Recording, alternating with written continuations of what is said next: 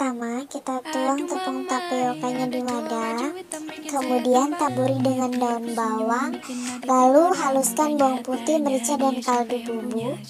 Kemudian tuangkan air, aduk rata, seperti yang di video ya, aduk rata. Lalu didihkan di atas api yang sedang. Sampai teksturnya mengental seperti ini ya kemudian uleni dan bentuk seperti ini. jadi deh cirengnya tinggal digoreng. Selamat mencoba